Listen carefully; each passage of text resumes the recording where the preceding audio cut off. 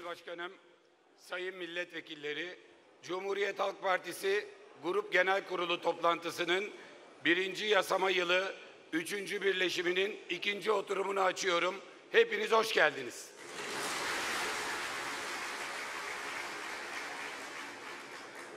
Sayın Genel Başkanım, her hafta olduğu gibi yurdun dört bir yanından konuklarımız var, arz ediyorum. Afyonkarahisar Daskırı Belediye Başkanımız, Denizli Merkez Efendi ve Bozkurt Belediye Başkanlarımız, Adıyaman Tut Belediye Başkanımız, Adıyaman Besni ilçesi Şambayat ve Kesmetepe Belde Belediye Başkanlarımız, Çelikan ilçesi Pınarbaşı Belde Belediye Başkanımız aramızda hoş geldiniz.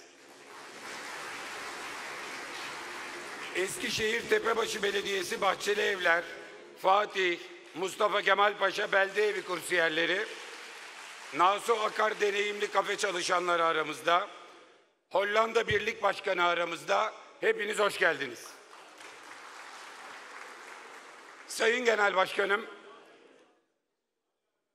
uzun bir yürüyüşü sizin liderliğinizde önemli bir yürüyüşü hep birlikte gerçekleştirdik.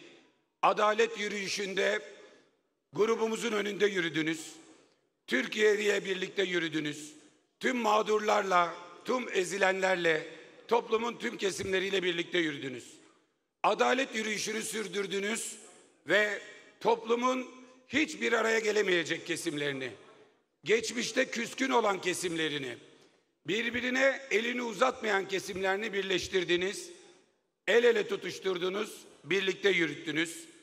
Sizin adalet yürüyüşünüz, demokrasi yürüyüşünüz sürüyor ve gönüllerdeki muhafaza ettiğiniz yeri arttırarak ve hepimizin lideri, önderi ve Türkiye ile helalleşen ve Türkiye'yi barıştıran lider olarak hepimizin yüründe, önünde yürümeye devam ediyorsunuz. Buyurun efendim.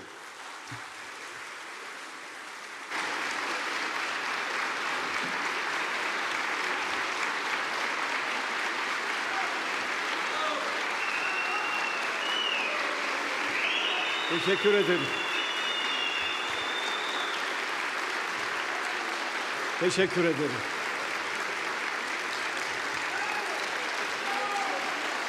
Sağ olun. Teşekkür ederim. Teşekkür ederim. Teşekkür ederim. Çok teşekkür ederim.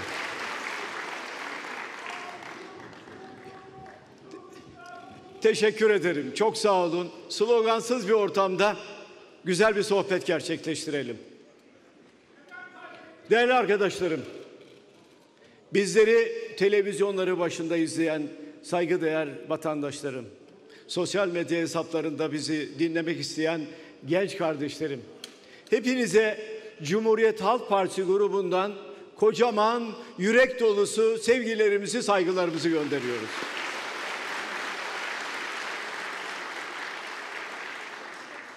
Sözlerime önce birkaç acı haberle başlamak isterim.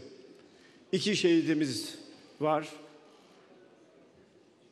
Şehitlerimizin bizim gönlümüzde, bizim yüreğimizde, 85 milyonun yüreğinde ayrı bir yeri vardır. Siyasi görüşlerimiz farklı olabilir ama bu vatan için kanını döken, canını veren herkese bu ülkenin 85 milyonu da minnet duyar. Onlar bizim yüreğimizde ve geleceğimizde hep yaşarlar. O nedenle iki şehidimize Allah'tan rahmet diliyorum. Milletimizin başı sağ olsun. Makine Kimya Enstitü Kurumu'nda Ankara'da bir patlama meydana geldi. Orada da beş kardeşimiz, beş emekçimiz, beş işçimiz hayatını kaybetti. Grup başkan vekillerimiz, Ankara milletvekillerimiz hemen gittiler. Belediye başkanımız yaraları sarmaya çalışıyor. Elmadağ Belediye Başkanımız elinden gelen yardımı yapmaya, yaraları sarmaya özen gösteriyor. Dolayısıyla bu beş kardeşimize de Allah'tan rahmet diliyoruz. Tabii bu olayın takipçisi olacağız. Hangi gerekçeyle nasıl bir facia gerçekleşti? Bunun ayrıntılarını takip edeceğiz. Ki hak sahipleri haklarını alıncaya kadar. Yine sanatı herhalde en iyi bizler biliriz. Sanatın ve kültürün bir toplum için ne kadar değerli olduğunu, sanatın aslında evrenselleştiği ölçüde ülkenin dünyanın her tarafında tanınabilir olduğunu hepimiz biliriz. Önemli bir keman sanatçımız Sunakan'ı kaybettik. Ona da Allah'tan rahmet diliyorum. Sanat dünyamızın başı sağ olsun. Tabii bütün hedefimiz yeni Sunakanları yetiştirmek ve onları dünyanın her tarafında görünür kılmaktır. Rize'de eski kadın kolları başkanımız hayatını kaybetti. Bir felaket sonucu diyelim. Pencere camını silerken, evini temizlerken altıncı kattan düşmesi ve hayatını kaybetmesi yüreğimizde derin bir yara açtı. Dolayısıyla bu kadın kardeşimize de Allah'tan rahmet diliyoruz. Sevenlerine başsağlığı diliyoruz. Hepimizin başı sağ olsun. Değerli arkadaşlarım, bu bizim ilk grup toplantımız. Yemin törenini gerçekleştirdik. Türkiye Büyük Millet Meclisi organlarını seçtim. Grup başkan vekillerimiz, meclis başkan vekilimiz, yönetimimiz seçildi. Evet dolayısıyla e, Türkiye Büyük Millet Meclisi başkanı da seçildi. Ama bu seçim döneminde demokrasi konusundaki kaygılarımızı haklı kılan bir gelişme oldu. Bir milletvekili arkadaşımız, partilidimiz değil, başka bir partiden Yüksek Seçim Kurulu'na başvurdum. Şu anda tutuklu. Yüksek Seçim Kurulu'na başvurdum. Ben milletvekili adayı olmak istiyorum dedi. Oradaki hakimlerin tamamı evet milletvekili olabilirsin, adayı olabilirsin dedim. Onayladı. Seçime girdi, kazandı. Yargıçlar bunun mazbatasını verdiler. Evet artık milletvekilisin, Türkiye Büyük Millet Meclisi'ne gidebilirsin diye. Mazbatayı aldığı tarihten şu ana kadar bu arkadaşımız hala tutuklu. Biz Cumhuriyet Halk Partisi olarak bu ülkeye demokrasiyi getiren bir partiyiz. Nerede bir haksızlık, hukuksuzluk varsa o haksızlığın giderilmesi için mücadele eden bir partiyiz. Kişinin bizim partiden olup olmamasının önemi yok. Önemli olan bu milletin iradesiyle seçilen bir milletvekilinin hala yasalara, anayasaya aykırı olarak hapishanede tutulmasıdır. Türkiye Büyük Millet Meclisi'nin onurunu, şerefini, haysiyetini koruyacak olan bir numaralı isim Türkiye Büyük Millet Meclisi Başkanı'dır. Bu konuda suskun davranamaz. O milletvekilinin derhal hapisten çıkıp gelmesi ve parlamentoda yemin etmesi gerekiyor. Demokrasinin erdemi de budur. Demokrasinin güzelliği de budur.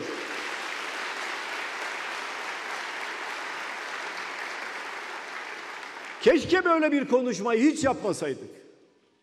Anayasanın gereği olarak seçilen bir milletvekili gelseydi.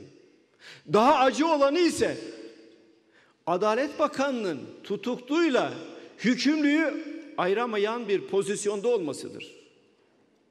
Mahkum edilmedi ki. Hakkında bir mahkeme kararı yok ki. Ama bunu hükümlü kabul ediyor. Bunlar doğru değil. Biz Cumhuriyet Halk Partiler olarak neden diyoruz bu ülkenin temel taşıyız diye? Neden diyoruz bu ülkenin geleceğidir diye? Neden diyoruz demokrasinin güvencesidir diye? Neden diyoruz insan haklarının güvencesidir diye? Neden diyoruz düşünceyi ifade etme özgürlüğünün güvencesidir diye? İşte bunun için. Bizden olsun ve olmasın.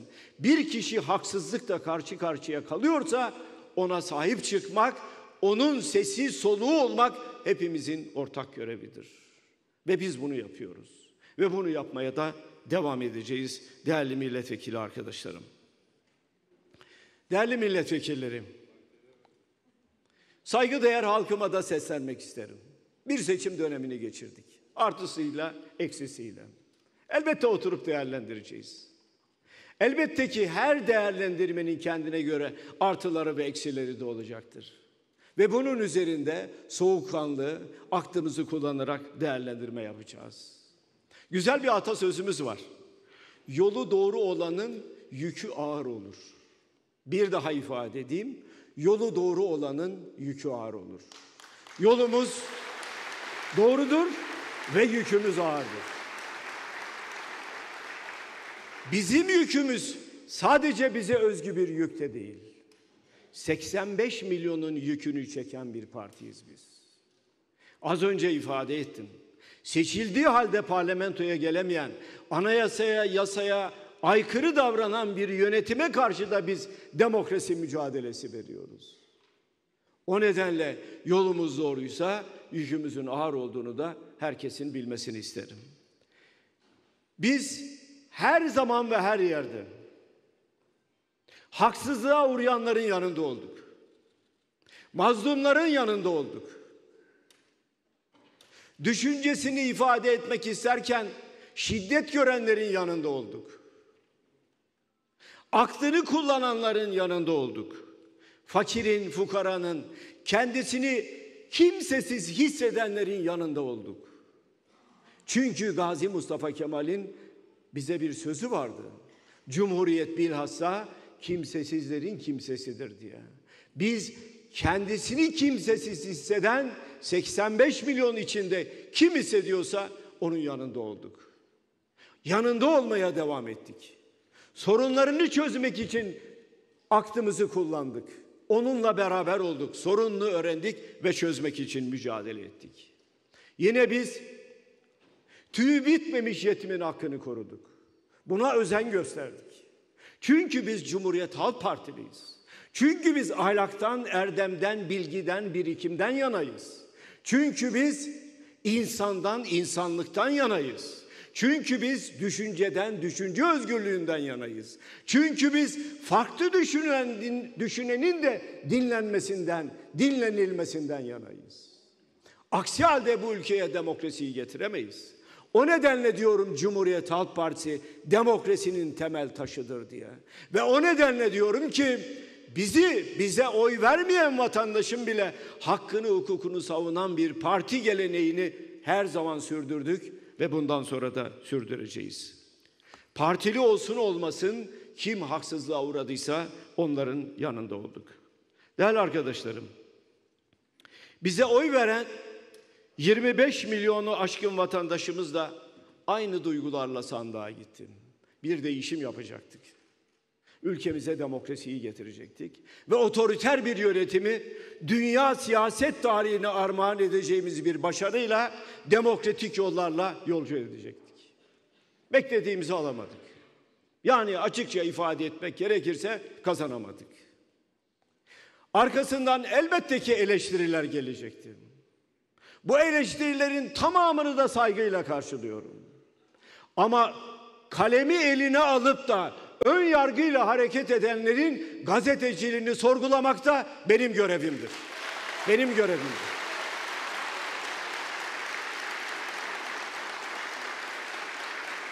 Kalemini satmayan, bir daha ifade edeyim. Kalemini satmayan, onurlu gazetecilik yapan, haklı eleştirilerini her zaman yazan bütün gazetecilere saygım vardır.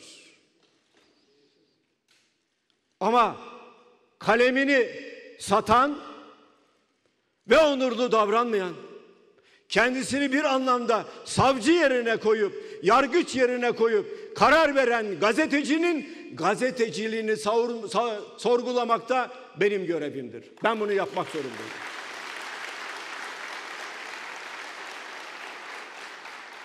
Bize oy veren 25 milyonun hayaliyle bizim hayalimiz aynıydı. Demokrasiyi getirecektik. Yaşanabilir bir Türkiye'yi inşa edecektik. Kinden, öfkeden arınmış bir siyaset anlayışını bu ülkeye getirecektik. Bize oy vermeyen vatandaşların hakkını, hukukunu da savunacaktık. Hiç kimseyi ötekileştirmeyecektik. Yeni bir anlayışı, yeni bir kültürü bu ülkeye getirecektik. Kimsenin inancından ötürü, kimsenin yaşam tarzından ötürü, kimsenin kimliğinden ötürü ötekileştirilmediği güzel bir Türkiye'yi inşa edecektik. Peki bu idealimizden vazgeçtik mi? Asla vazgeçemeyiz. Tarihimizin bize yüklediği temel bir sorumluluktur bu. Asla vazgeçmeyeceğiz. Bundan sonra da vazgeçmeyeceğiz. İnançla yolumuza devam edeceğiz. İnançla, kararlılıkla yolumuza devam edeceğiz. Bu ülkeye demokrasi gerçek anlamda getirinceye kadar yolumuza devam edeceğiz.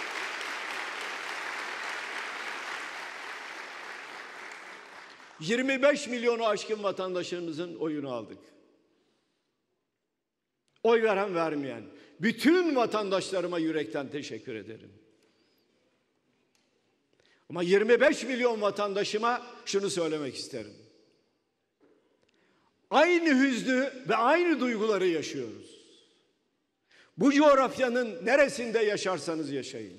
Aynı duygular ve aynı hüzünleri yaşıyoruz. Çünkü hedefimiz birdir. Çünkü amacımız birdir. Çünkü bu ülkeye bütün güzellikleri getirmek istiyordu. Ama sakın ola ki bu bizi umutsuzluğa mahkum etmesin. İnsanlık tarihi adalet mücadelesi tarihidir. İnsanlık tarihi hak mücadelesi tarihidir. İnsanlık tarihi zulümle, zalime karşı mücadele tarihidir. İnsanlık tarihi bir demokrasi tarihidir. Ve bu ülkede o demokrasinin mihenk taşı da Cumhuriyet Halk Partisi'dir.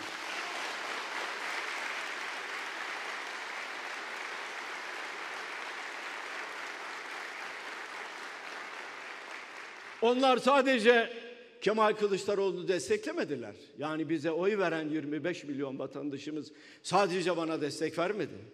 Onlar ortaya koyduğumuz Türkiye idealini, Türkiye'yi yönetme irademizi, demokratların ve vatanseverlerin ittifakını, kardeşliği, barışı, huzuru ve adil bölüşümü desteklediler. Onlar yalan siyasetinin karşısında hakikatin yanında oldular. Onlar her türlü iftaraya karşı gerçeklerden ayrılmadılar. Onlar kimseye iftira atmadılar, kimseyi ötekileştirmediler. 25 milyon bu ülkenin temel taşıdır artık. Ve yeni kazanacağımız gençlerle, yeni kazanacağımız kadınlarla 25 milyonu 30 milyon yapmak da Cumhuriyet Halk Partilerinin boyunun borcudur. Bunu yapmak zorundayız. Demokratik yollarla, inançla bunu yapmak zorundayız. Ve dolayısıyla saraya ve sözcülerine de seslenmek isterim. İşte siz bu iradeyi teslim alamayacaksınız. Demokratların iradesini, insan haklarını savunanların iradesini, kötülüklere karşı iyiliğe savunanların iradesini asla teslim alamayacaksınız. Biz değişeceğiz. Biz yenileneceğiz. Biz güçleneceğiz ve memleketin bu yalan ve iftira siyaseti içinde olmasına, bu memleketin olmasına asla izin vermeyeceğiz. Beraber olacağız, birlikte olacağız. Yalanlara karşı birlikte mücadele edeceğiz. Çünkü Türkiye Cumhuriyeti en olmaz denilen anlarda, en ümitsiz anlarda küllerinden yeniden doğmasını bilmiştir. Yeniden doğacaktır, yine doğacaktır. Bunu da bütün vatandaşlarımın bilmesini isterim.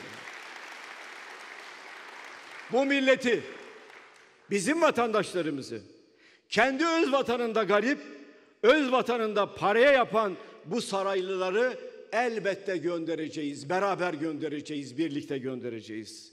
Bitmeyen istibdat dönemi yoktur. Çünkü karşısında hürriyet diyenler daima vardır ve var olacaklardır.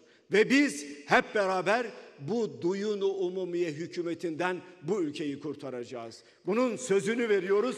Beraber vermek zorundayız bu sözü.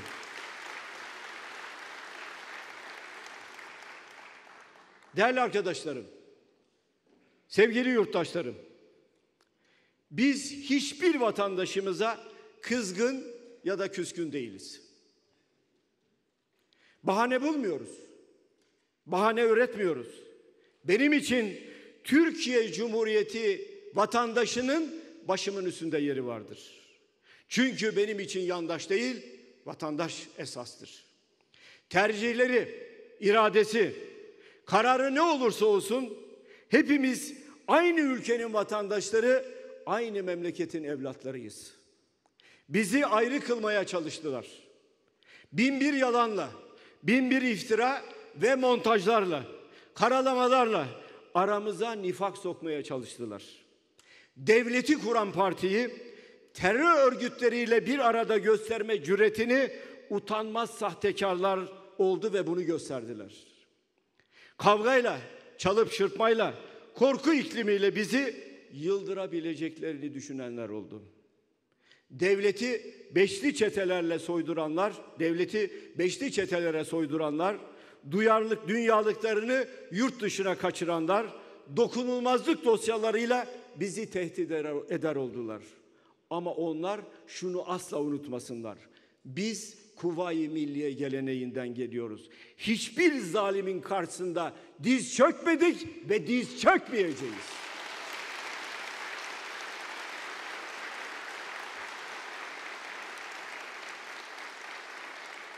Omuzlarımızdaki yükün farkındayız.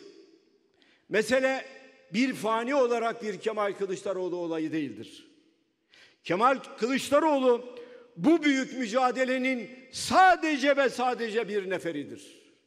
Yüzyıllardır bu topraklarda verilen mücadelenin bir parçası, bir neferi olmuşsam ne mutlu bana.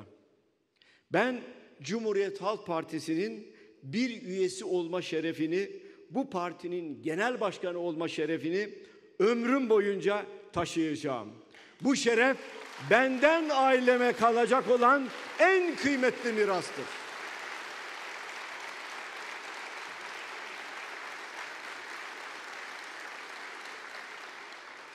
Ben bugün partimize yeni üye olan bir genç kardeşimle aynı heyecanı yaşıyorum. Aynı hüznü ve aynı duyguyu yaşıyorum.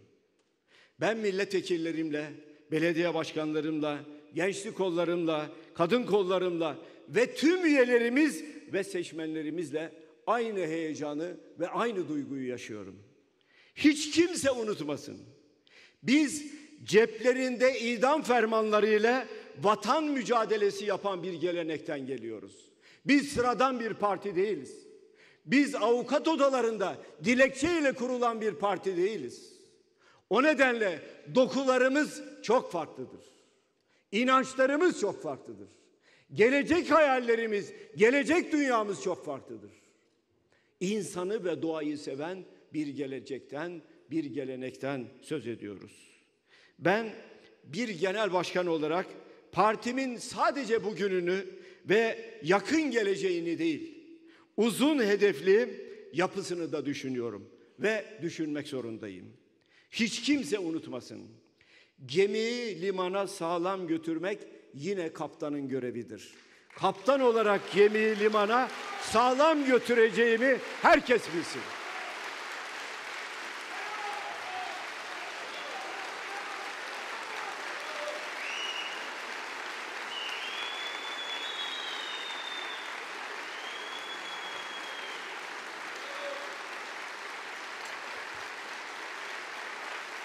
Teşekkür ederim arkadaşlar.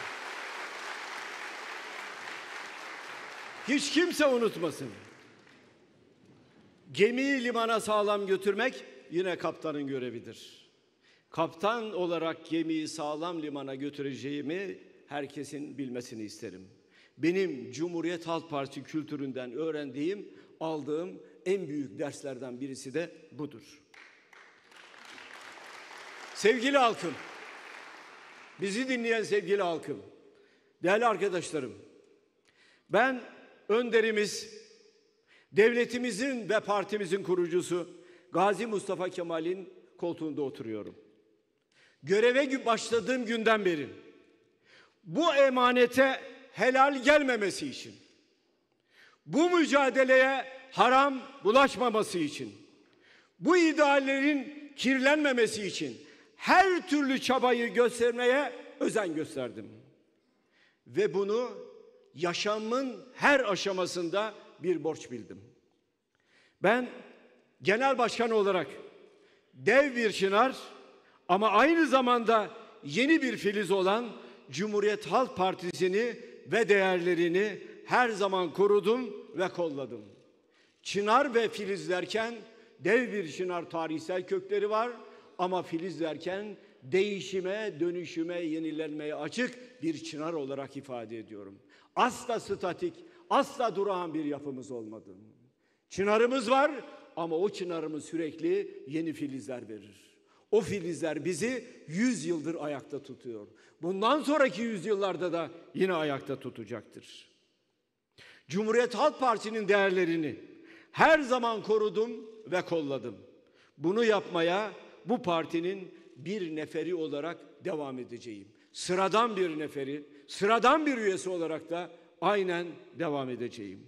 Çünkü ben kendimi Kuvay Milliye geleneğinin devamı olan bir siyasi hareketin neferi olarak gördüm ve görmeye de devam edeceğim.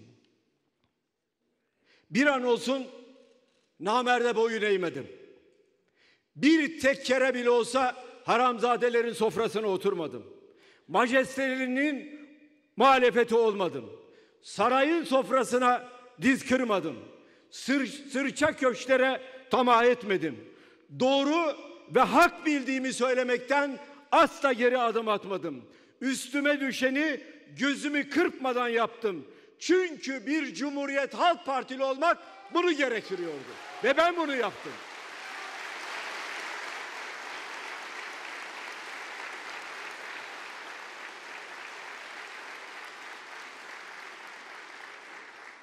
Ben kuş uçmaz, kervan geçmez yerlerde nasıl bir memleketi istediğimi anlattım. Cumhuriyeti anlattım. Mücadelemizi anlattım. Yeri geldi tepkiler gördüm. Asla tepkilere kızmadım. Dinledim ve muhataplarımı ikna ettim. Sıkılı yumruklarla tokalaştım.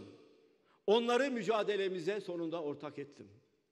Asla bir araya gelemezler denen kim varsa onları Halil İbrahim sofrasında buluşturdum. Bu ülkedeki vatanseverleri, demokratları, yüreği iyilikten ve güzellikten yana atanları aynı mücadelenin neferi yaptım. Biz vatan toprağını düşmanlara bırakıp kaçanlardan değiliz. Biz vatan toprağını dişiyle, tırnağıyla geri alanlardanız. O kültürden geliyoruz biz.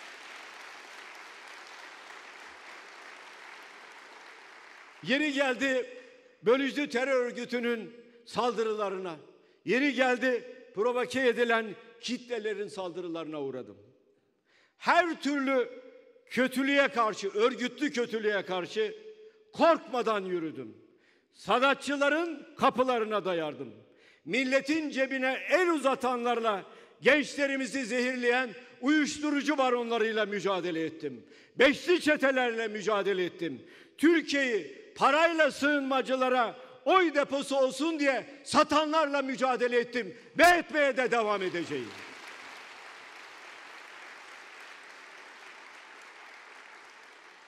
Yıllarımı verdiğim demokrasi, adalet, barış ve huzur dolu bir Türkiye davamızda hayatımı adadığım Atatürk ve bağımsız Türkiye Cumhuriyeti uğruna mücadele azmimden bir adım dahi geri adım atmadım ve atmayacağım.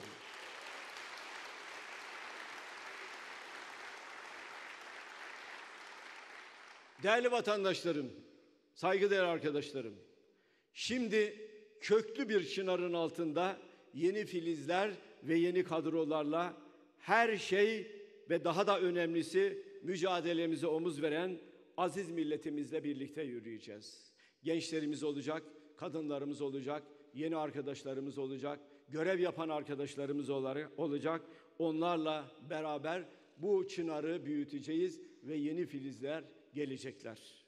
Sarayın ve yandaşların değil, milletin ve vatandaşlarımızın kazanacağı, tüm eleştirileri dikkate aldığımız ve alacağımız yeni bir süreci hep birlikte inşa etme zamanıdır. Ben bu değişimin ve yenilenmenin parçası olmak istiyorum diyen bütün vatandaşlarıma, yoldaşlarıma, arkadaşlarıma seslenmek istiyorum. Bir, önce bireysel beklentilerden tamamen arınmak zorundayız. Altını bir kez daha çiziyorum. Önce ülkemizi seviyorsak partimizi seviyorsak, gelecek ideallerin peşinde koşacaksak bireysel beklentilerden tümüyle arınmak zorundayız. Çünkü yine bize öğrettiler. Söz konusu vatansa gerisi teferruattır. Asıl hedefimiz budur. Ve gençlere seslenmek istiyorum. Gelin Cumhuriyet Halk Partisi'ne üye olun. Gelin köklü mücadelenin bir parçası olun.